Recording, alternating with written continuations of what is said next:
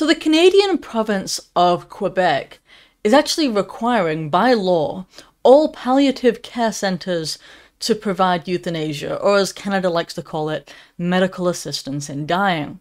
So even if there's like a hospice centre that doesn't want to participate in that, that you know just wants to assist people in their final hours and reduce suffering, um, that's that's not allowed. They actually have to be willing to to kill people according to government mandate, and therefore that's upset some centres, especially those that are controlled and funded by the Catholic Church.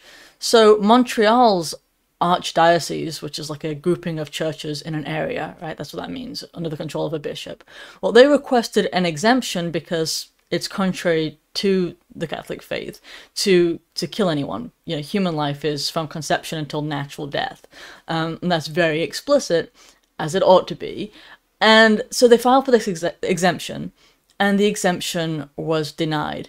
And I want to, I, I say, it's unbelievable actually. But we'll go and take a quick look at this article because I think it's, I think it's interesting but also shocking at the same time. The times we live in. All right, let's take a look.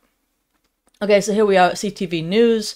Uh, Quebec judge won't exempt church-supported palliative care home from MAID law. That's medical assistant, medical assistance in dying for anybody who doesn't know. And I highlighted what I thought was like we should look at first. So it says Justice Catherine, I'm gonna go with Pitch, even though that's probably wrong because it's probably French, found that Quebecers' right to choose what medical care they want to receive, including doctor-assisted death, outweighs any infringement of religious freedom. Now, first thing that stands out to me here is the conflation of medical care with death. Because I don't know how you define medical care, but it's generally includes trying to keep a person alive. you know, it's actually healing. That's that's the point. Therefore, um, doctor-assisted death is no more medical than the mechanic-assisted death because he's not acting as a doctor at that point. Uh, he's acting to kill you. It doesn't really matter what his profession is. All we know for sure is that he's not acting in accordance with anything that anyone could call medical you know, unless you want to call, like, when we actually uh, kill people through the death penalty, right? When we do the lethal injection, like, are we going to call that medical care? Because if if this is, then that is. You know, like, I hope you can see the the disconnect there. But instead, they're just sort of obfuscating these terms because it makes people feel more comfortable. But it's absolutely false. Um, and then they're saying that basically there's this right, this right to doctor-assisted death, which is not a right, by the way. Um, outweighs any infringement of religious freedom. It's like you don't have a right to force people to kill you. You don't have any right to to force people to engage in an immoral action. Um, no, you just don't. And then down here, uh, the same judge that we're just calling Pitch because I, I, I don't know and I don't do French. Pitch agreed that the law creates a moral dilemma for some Catholic supporters of the centre and that they would be harmed if doctor assisted deaths took place there, but she ruled that those harms did not justify an exemption. Um, firstly, I would say it's it's not a moral dilemma. Actually, it's just morally wrong. But there is no dilemma. This is not something that's like nuanced. That's even particularly complicated.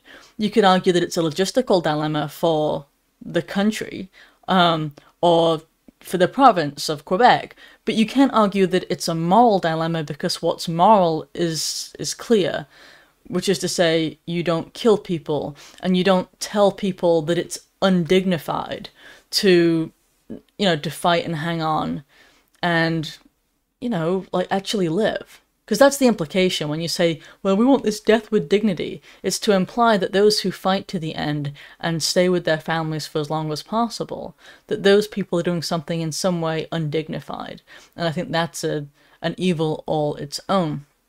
Um, but on the, on the moral issue, it's like there's something just so chilling about a judge or anyone trying to force these people to kill. Because ultimately, that's what they're doing. They're saying that these the staff at these centers, um, who obviously don't want to participate in uh, in killing people, else they'd probably be in a different profession.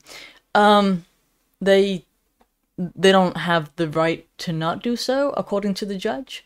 Uh, that's just kind of so egregious.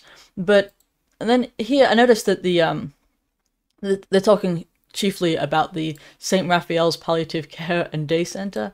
You know, you know why they call it that though. It's based upon the Archangel Raphael, who's the patron saint of healers. So that's why they named it that, because it's actually about healing, which again we've already been over, but is very contrary to what this entire thing is about, because it's about ending life. It's about killing. It is vastly contradictory to um, to anything that anyone could call healing.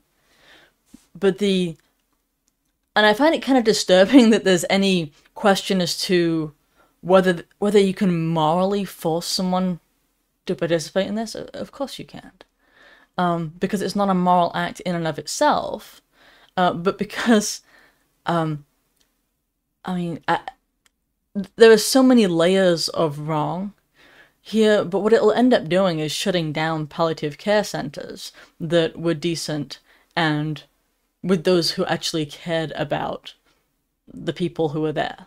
Legitimately, that's what it will end up doing because, I mean, the the Catholic Center can't just stay open and participate in something so gravely immoral as murdering people. They can't do that, so they'll shut down, and then you'll just have secular centers who are completely okay with that. And would you really want to go to one of those places? Just assume that you were just getting care and you didn't actually want to be killed. Would you want to go and put yourself in the care of people who thought that the euthanasia was okay?